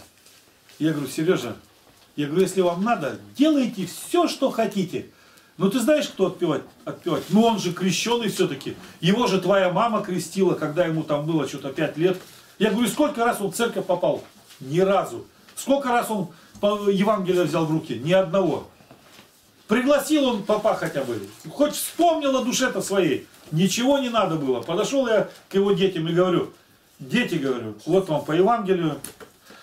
Я говорю, отец, говорю, ваш оставил вам величайший пример для вас. Ну, я решил, вот как тетя Алла тоже говорила про мою бабушку. Я они такие на меня раз глазенками смотрят. Ну, одной девчонке уже 25, а пацану 22. И я говорю, он прожил, жил так, как никому нельзя жить на свете. Я говорю, проживите по-другому. Вот как в Евангелии написано. Ну, этот пацан-то ничего еще, Игорек. А эта девчонка, так она на меня как взглянула, вот так, «А, затряслась аж. Потом, ну, тут, что против дядьки скажешь, что она меня знает.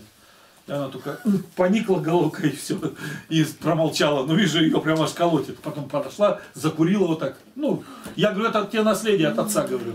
И, и этот же тут же достает. И подходит его бывшая жена. Достают и втроем стоят. Я подошел, это, Света его жена.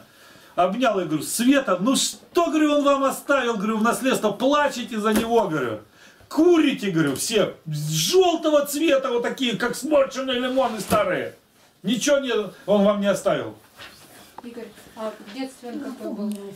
Стих. Да последний был бандит, Сережа, хулиган. еще раз что-то запомнил.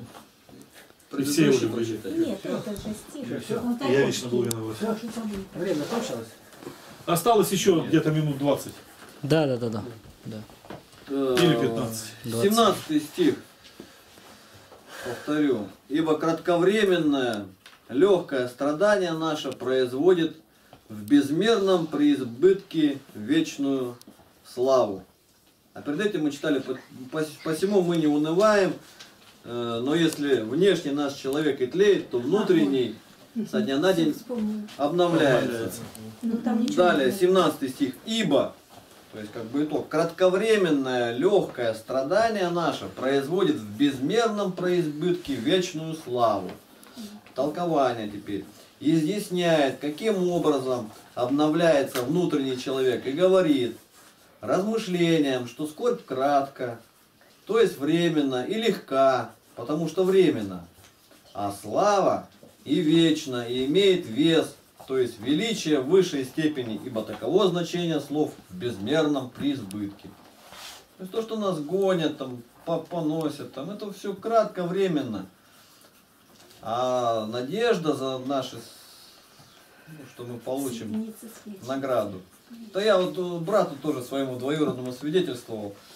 Вот, о добрых делах заговорили. Он говорит, ой, вы, говорит, вы говорит, корыстолюбивые, вы добрые дела делаете, потому что вы надеетесь раз попасть, В рай. в рай попасть. Вы корыстолюбцы. Ну, А я вот добрые дела делать? делаю, потому что Ради вот Христа ради, делаю. ради, не ради Христа, а ради добра. А вы корыстолюбивые, вы не- не- неправильно делаете. Что-то мало таких, кто ради Христа добро делает. А я перед этим-то читал, что делая, делая добрые дела не ради Христа, не вменится на страшном суде. Ради себя это не считается. Не, не вменится. Да, добрый человек. Да мы много добрых людей знаем. Очень. Очень много добрых людей. На славу Божию. Потому что Вот. А здесь как раз говорится о м, безмерном преизбытке, о вечной славе. Ну и дальше продолжим. Или что-то хотели? Я хотела сказать такое замечание по поводу вот наших всех собраний. Когда наши собрания просматривают, и сказали, те даже, которые ходят в на- в наш храм, сказали, что вы слишком, ну, как сказать, не кроткие люди, дерзкие, Гордые. гордые. И э, и вы на самом деле совсем не такие, когда вот вы чем на занятиях. Превозношение чувствуется в каждом из вас. Какое-то, как бы вы выше, чем все другие. Это вот чувствуется, говорит, когда смотришь э, ролики о собраниях. Прям такие мы хорошие сами, а все другие такие плохие. И это даже видно открытыми глазами, ну вот, даже, даже неверующим, понятно. И кому это понятно, да? Ну, если неверующим понятно, то тем, кто говорит, конечно, понятнее, еще понятнее, чем неверующим. Ну и тогда кто они тогда? Завистники.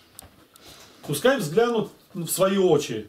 У них может быть за место дня там ночь, тогда какая их душа написано? Это Господь говорит.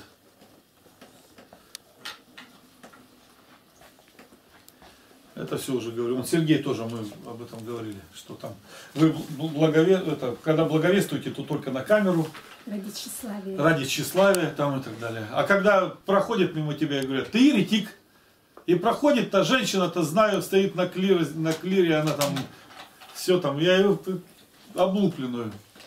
И такая, и поворачивается ясным голосом, и она прям ждет от меня. Я Евангелие, Слово Божие, она такая, мы от еретиков ничего не берем. Ну хотя могла бы остановиться и сказать, Евангелие в руках еретика, а то мы от еретиков не берем даже Евангелие. То есть ничего умного-то нету. Я говорю, а на страшном суде вам не страшно будет предстать с такими словами? Нисколько. Судят, и главное, э, подошли и сектанты, начинают там, э, один, я протягиваю визитку, он только, братья, говорю, православный сайт, он так отдернул руку, так спрятал, и такие глазенки, высокий такой. Я говорю, что такое, ты, что ты, что ты прыгаешь, что, сатана там, что ли, в визитке, ты что? Он, да нет, я это, а другой, да ты что тут, гляди, а, православная? Я говорю, а, а если там что такое написано, чтобы отпрыгнуть-то?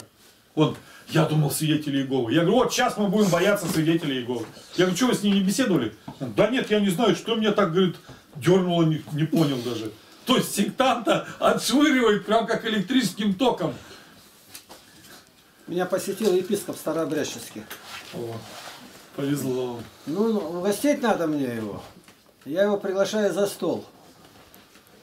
А нам с вами вместе нельзя есть.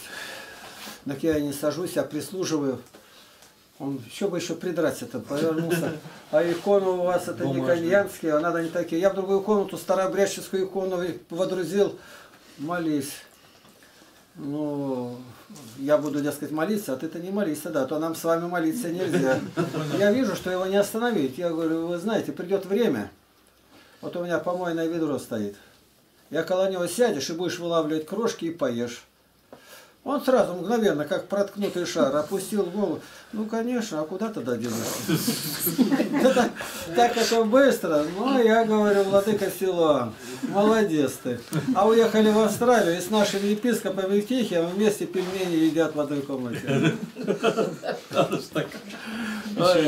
Это нам, видишь, э, надо просто помнить, что обстановка не надо меняется, и будет не так. И ты будешь под чужим забором кружки забирать. Ну чего уж так возноситься-то? Молиться нельзя, есть нельзя. Вот, сиреном в бане мыться нельзя. Да ну не мойся ты. Не бойся.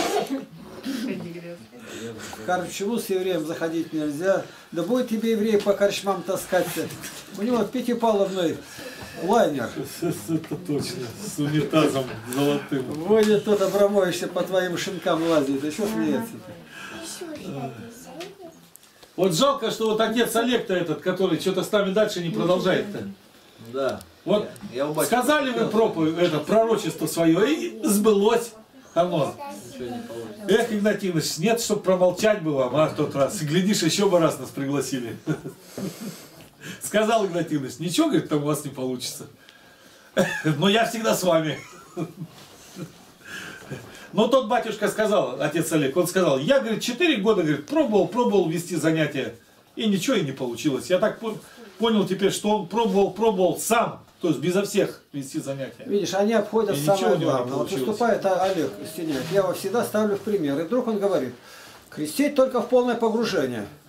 Но иногда бывают и это затруднения, когда не построена купель. Да какое же затруднение, ты построил. А разве это считается разрешением крестить, мочить только, купели нет, он и никогда и не будет строить, зачем оно нужно? Когда это уже заранее оправдано. Игнат Тихонович, ну обязательно строить купель. Ну поставил бочку, вот бочку, туда сколько воды-то можно налить. У меня вот и маму в сейчас этой бочке крестили. и, и окрестил Фотографии. все. Но это же законно будет, правда же? Конечно. Ну и какие купельни? Это очень дешево. Ну вот в Германии там, там крещение как? Вот даже дождь идет, э, это с, с- дождя вода стекает, вот эти вот, которые бочки там ставят, вот под дождевые, вот такие вот ставят и в них крещение принимают люди. И в них вот троекратное погружение человека. Мама посчитала, вот она там в Красноярске ее крестила, вот отец Константин. Там их четверо было. Матушка, вот это, и там Татьяна с Николаем. Ну и вот маму крестили они, и сам батюшка. Что-то там вошло 18 ведер. Мама говорит, еще бы пару ведер, да 20 бы. А то, говорит, он мне не совсем, говорит, удобно было сгибаться, говорит. Такой пластиковый, вот этот верх обрезанный. А он жестко держит. Его не до конца обрезали, а вот как горловину. И все, и лесенку такую, и все, она туда раз, то спрыгнула. Назад-то, говорит, как подниматься теперь, уже забыли. Потом туда табуретку, говорит, опустили на табуретку, потом перешагнула на лестницу. В общем, однако полезла туда все равно. И все, и он ее всё. целиком вошла. Ну, говорит, правда, немного, говорит, так скрывалось немного. Говорит, «Ве- ведерко бы два еще сверху. Кольчушка короткая. Ну все, и вот она стоит вся мокренькая, все, уже там ее помазание идет. Что интересно, соглашаются. И отец Олег, надо в полное погружение. Но если моченый, ни под каким видом нельзя. Потому что можно и песком. И он говорит, песком не такая. Олег Стеняев, песок, слюни. Коч- Кочмар. Получил известие на вчера, кажется, положительное. В Красноярске со мной один переписывается очень хороший человек. Ролик с ним поставлен у меня сегодня утром, последний он, э, Юрий. И у него там двоюродный брат. Ну, все наставят, когда приходят креститься, ну, ну, не надо говорить про это, мочение, и тебя крестят. Да. И меня спрашивают, говорить, не говорить. Я говорю, я стою на том, что надо говорить, чтобы потом не упрекнули, что ты хитростью благословение, как Яков получил-то. Ну, Да. надо говорить ты. Но он тогда пошел и к, к архиерею. Но все замерло, все молимся. И вдруг архиерей дает ему добро. Вот так. Моченому священнику, так тот священник-то сколько оговорок сделал, никогда бы не крестил, а уж архиерей сказал, тут выше всех соборов. Ничего себе. Все, теперь надо его крестить. Это, новое второй уже нечто. случай. Второй, когда моченого, и они сказали моченый. Первый случай в Барнауле был, второй там. Но в Барнауле тут так получилось, что ей разрешил моченый креститься, а крестить другой. То есть они один исповедовал, а другой крестил. А там именно архиерей. Вот вчера ночью я получил это известие. Говорит, ничего Интересно. нельзя сделать. У меня на это один ответ, еще ничего не делали. Начинай делать и тронется. Патриархия начинает что-то делать. Нам надо работать и пример показать, что мы любим нашего Господа и мы вас любим. При, признать официально мочение вне закона. Вне закона. Это не крещение, это обман. Никакого перекрещивания нет. Просто обманули. Обманули. Ребенка надо резать. А тот, кто резать, он не знал, что и взял ему ногти, подрезал и говорит, я ему обрезание сделал. Какое обрезание-то? Ну, обрезание определенное место, и, и нож есть, и какая часть. Это все написано. Как делать-то? Но крещение может делать и мирянин, и даже женщина, потому И что повезло, с тех пор жена Моисеева обрезала и бросила обрезание к ногам и сказала, ты жених мне по крови. Крови. То есть женщина, а это прообразует крещение. Я вчера, как Повезло. говорю, это читал, когда свой, вижу мой материал, и как они его оформили, дословно весь скопирован, но меня нигде нету. Мне до того радостно было. Видимо, заграничный материал, а теперь оттуда они берут, это там монастырский, они ус- и ни- ничего не убавили и не прибавили, просто скопировали. Но так как там синим цветом и так красиво, ну красивее, чем у меня получилось. И можно вопрос задать? Как так получилось-то, что э, тех э, людей, которые вместе с вами, э, ну, вместе с вами вы видели, начали лапкинцами-то называть? С чего это они вдруг такое сделали-то? Почему там не фамилии другого-то, а именно Лапкинцы? Ну вот когда ты напишешь что-то, и тебя будут, будут говорить, что Дыбуновец. Не, так вы тогда что написали-то? О чем речь? Я О пойму. крещении, о войне, А о кому покаянии, написали? о Библии. Материалы. И, и так говорю, что Так это в каком году тогда получается? Вот, но начали конкретно говорить, Лапкинцы, вот конкретно Ну, с услышали. 90, может, Тихо, 5 топ. Она, пожалуй, права. Дело в том, что за это она звали Златоустовцы. Ах, вот оно как. Это в Откровении написано, в этом, для Слова Божия нет уст написано. Ну там, да, что-то есть. Но я думал, может быть, Лапкинцы по- по- Нет, параллельно тогда было. этого не было. Не а, было, теперь- да? а, а это очень А, просто. это после того, как община появилась, что ли, Да. началось такое, да? А, ну тогда после, после фильма, скорее всего. Вот она сказала, на это надо просто ответить, 95, видимо, так После фильма Златоустовцы. А, нет, ну, скорее всего, после того, как это, как 95-й год и ходить начали общины туда. Да. А Они смотрели, смотрели, и потом это придумали. Почему? это. Прочитай вот отсюда. Ну, вот, вот, вот верхний, послушайте. Вот отсюда. Ну что? Да, вот, вот отсюда? Да. Так ведь говорил когда-то другой Ты э, неутомимый. Подожди. Ну что маленько назад. А, ну, отсюда. читай. Вот. Давай. Читай, давай. Читай. А то я сейчас пока присмотрюсь. какой? Берем Ну, а последний еще куплет и меньше. дальше. Игнатий всегда старался поддерживать максимально близкий контакт с духовенством. Однако в- э, в одно время он был частым гостем и в епархиальном управлении. Уговаривал и наедине увещевал знакомых батюшек. Обновление, оживление приходской жизни, безбоязненное и свободное общение священника с прихожанами, введение более строгой церковной дисциплины и главное – усиление евангельской проповеди. Вот на что были направлены его усилия. Результаты, как нетрудно догадаться, были весьма разные.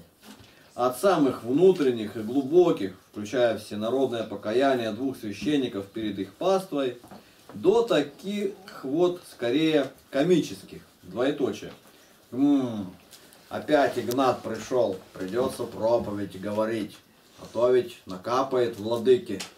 Воздыхает местный батюшка, отодвигая пальцем завесу и с неудовольствием взирая сквозь завитушки царских фрат на слишком хорошо знакомое бородатое лицо в толпе прихожан. Но что до того, как бы ни проповедали Христа притворно или искренно, я и тому радуюсь и буду радоваться. Так ведь говорил когда-то другой неутомимый миссионер, во многом послуживший образцом для Златоуста со второй строительной, как окрестили Лапкина в статье Алтайской правды. Филиппийцам 1.18. А почему, собственно, Златоуст? Не только корреспонденту пришла в голову эта действительно небезосновательная аналогия. Впервые ярлык сектант и златоустовцев налепил на друзей Игнатия настоятель Барнаульского храма. Отец Николай Войтович. Дело в том, что в кавычках издательская деятельность Лапкина, которая затем привела его в барнаульскую тюрьму и Жанатас, начиналась как раз с записи всех творений святого Иоанна Златоуста в русском переводе на 62 магнитофонных катушках, около 600 часов звучания. Замысел был таков. Во-первых, лучшего способа размножения религиозной литературы в провинции не найти.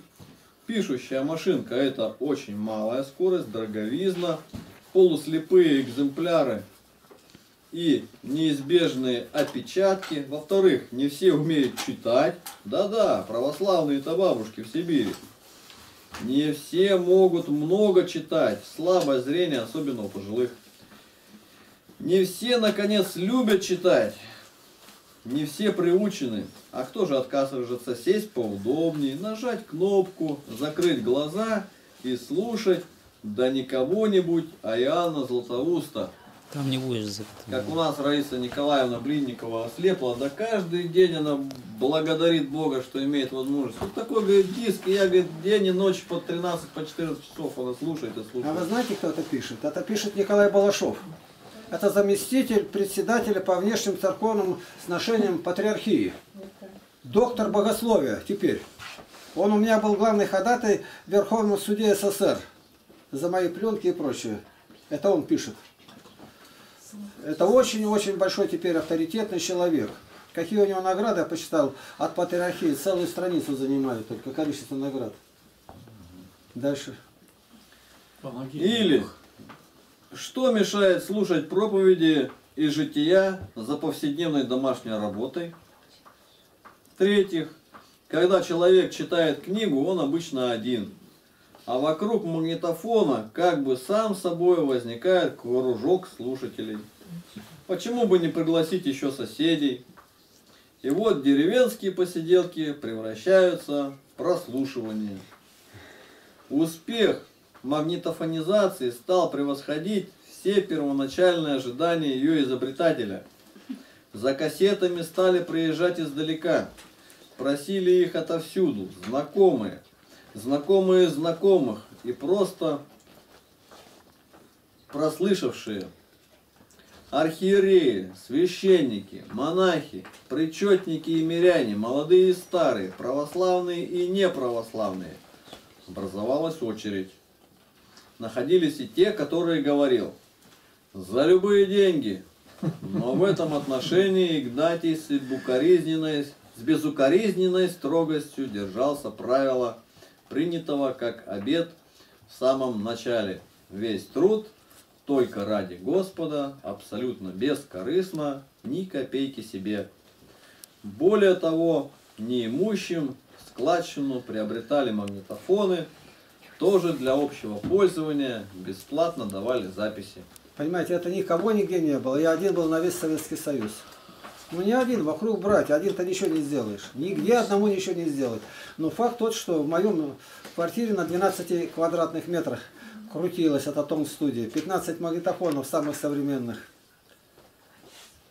И все Да. думал, как сделать, как сделать, чтобы пишущая машинка-то не была найдена, а как пол, а в это время стучат.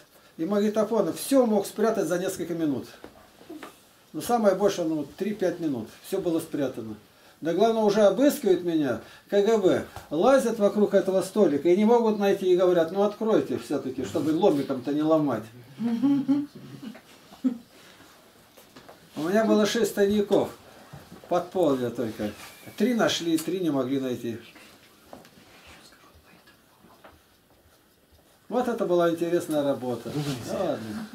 Ну, собачку. что хочешь там? Надежда Васильевна, ну, Давай. Очевидно. Пришли КГБ. Когда обыск делали, пришли, пошли в сарай со мной вместе. В угле, это, собачка там конура, все, они туда полезли, потом в углярке. Я говорю, неужели вы думаете, что мы эти кассеты будем у собаки в конуре прятать или э, в углярке? Какая же у вас грязная работа такая поганая. Я говорю, неужели вы будете искать там? И я с ним поговорила, еще немножечко поговорила, и он ушел, и не стал ни в конуру лезть, ни в углярку не, не пошел. И так ушел. оттуда. А потом Игнатий Тихонович, когда они увезли его, он приходит другой а паспорт его исчез. Паспорта не было. Он приходит, а я так просто мы дом-то не закрывали на, на замок. Я в сарае, а сарай через дорогу был. Пошла за дровами, за углем, и он приходит. Надежда Васильевна, как вы можете двери оставлять открытыми и уходить куда-то? Я пришел, там никого нет. Я говорю, а у нас всегда так. Я в магазин ухожу свободный, в сарай, говорю, и никто ничего. А вы днем, говорю, пришли, замок взломали, все забрали. И все забрали.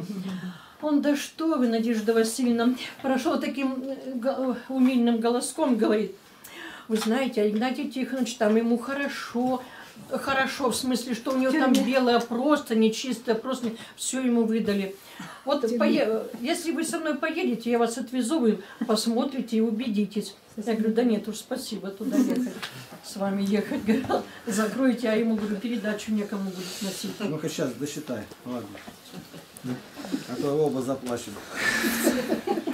Магнитофонизация началась со Златоуста, но им, конечно, не ограничилась. Начитаны и размножены были Библия, Жития святых с 1 до 19 века, Добротолюбие, Лествица, исповедь блаженного Августина, о подражании Христу э, Фомы Кемпийского, книги проповедей отца Дмитрия Дудко, исторический путь православия Точно, отца Карамелька. а, Шмемана, апологические книги баптистского автора Рогозина. Моя В собачка. 1986 году Ну, собачка такая. полная катализированная, каталогизированная фонотека лапкинских записей составляла около 200 кассет. Это более чем на два месяца непрерывного звучания. Игнатий, как, впрочем, и Златоуст, не мог ограничиться чисто религиозной тематикой.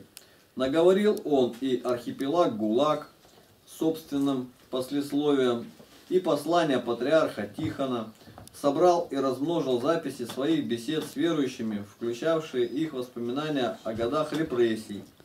Писал стихи, в том числе и про вождя мирового пролетариата, как будет позднее сказано в следственном деле.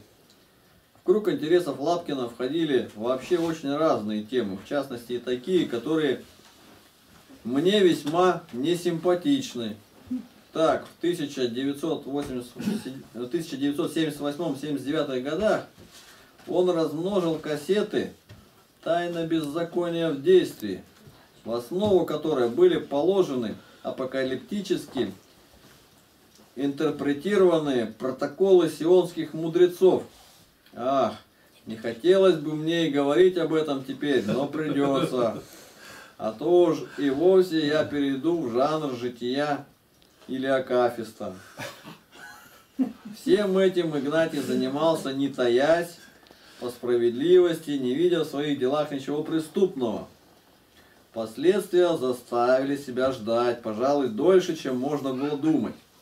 Однако в мае 1980 года он был арестован и пробыл до октября под следствием по статье 191, а потом был внезапно освобожден после того, как подписал заявление, что больше не будет размножать произведений политического характера. Справки, которой он вышел из тюрьмы, в графе «Причина освобождения» было написано ввиду переменившейся обстановки. Сейчас Олимпиада закончилась. Нас ближе на 100 километров. К Москве нельзя было. Всех арестовали и всех убрали, пересажали. Всех до одного. До Дальнего Востока. Кошмар. При этом представитель КГБ сказал, что против чисто религиозной деятельности Лапкина никаких возражений не имеется. Златоуста своего размножай хоть мешками. Почти всю фонотеку, изъятую при обыске, в тот раз вернули, кроме, конечно, архипелага и еще некоторых вещей. Ага. Ну, читать. А почему нам осталось сейчас? А тут? Потому один что- абзац. А, ну ладно, пусть. А нам-то не вернули ни одной пленки. Ни Так, ну Златоуста, ладно, никого. ладно, ничего ладно, не обойдемся. Обойдемся. Да, ну, ну, ну, я говорю без этого. Ну, да что. Почти всю фонотеку, изъятую при обыске, в тот раз вернули, кроме, конечно, архипелага, еще некоторых вещей. За последующие пять лет Игнатий еще улучшил свою техническую базу и действительно размножил не один мешок магнитофонных пленок. Это был и Златоуст с другими прежними записями, и проповеди полюбившегося Игнатию стокгольмского радиопроповедника Ярла Пести, новые книги Дудко, труды отца Григория Дьяченко, трагедия русской церкви, трагедия русской церкви Регельсона, свою подборку житий он завершив, включив в нее материалы о новомучениках, известную в самоиздате книгу «Отец Арсений» и другое. Слово данное в тюрьме держал, но видно, в кавычках, обстановка вновь переменилась, и 9 января 1986 года Игнатия опять арестовали. Кто пишет это? Сейчас, в, тот же день во многих городах страны пошли обыски. Более чем у 30 человек были изъяты многочисленные катушки с записями. Златоуста со всем прочим вновь упаковали в мешки с печатями. Мы опускаем заключительную часть очерка. О последующих событиях читатель узнает от самого Игнатия Лапкина.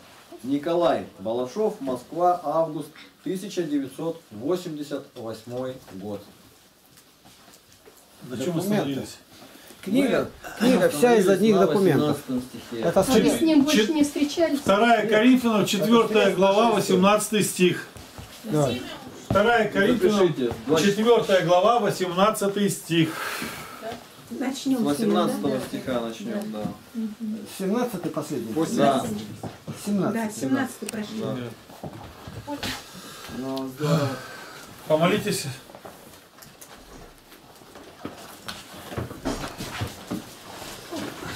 Да, не выходите, стойте все в комнате. В комнату заходите. Алла, чтобы здесь на эту сторону перейди. Молодец. На Иди, эту сторону зайди сюда. все. Впереди стоим мы, вот с маленькой, вы нас закрываете. Так, с дороги уйди-ка отсюда. Ходи с дороги. Назад, посюда, сдай. Ко мне. Туда. Вот назад. Еще. Вот. Такой порядок у нас. Если мальчик, то справа будет самый маленький мальчик. Ну ладно. Так, быстро. Туда проходите. Туда. Перед нами не становитесь. а Впереди мы, мы стоим. Идите сюда, сестры. Сестры, туда, зайдите за нас сюда. Зайдите, места хватит. Мама, быстрее. Сюда, в эту сторону. Ой, кое-как собрали. Молимся. Боже, милостив будь мне грешному. Создав имя, Господи, помилуй меня. Без согрешил, Господи, прости меня грешную и помилуй. Боже всемогущий, слава Тебе за этот воскресный день. Мы просим, даруй мир Израилю, Украине, России. И сохрани от повреждений ума, от болезней Владимира. И всех правителей мира обрати на путь покаяния. Дары духовного рождения патриарху, епископам и священникам. И нас помилуй милости Твоей ради. Пощи добрых жителей вселения нашей, распространи общины, дай еще священника и место для занятий. За все Твои щедроты, Твое долготерпение мы прославляем Твое всемогущество. Хвала Тебе и слава за все, Отец, Сын и Святой Дух. Аминь. Господи, прими нашу молитву, воздеяние рук, как жертву вечернее благоухания, приятное перед престолом благодати Твоей. И соедини нашу молитву с молитвой всех святых, молящихся Тебе на небе и на земле. Господи, услыши молитву всех молящихся о нас во благо нам и исполни их. И прими, Боже, нашу молитву о всех заповедавших нам молиться о них. Спаси их и помилуй. Говори, Господи, Владыка, слушает и слышит раб Твой.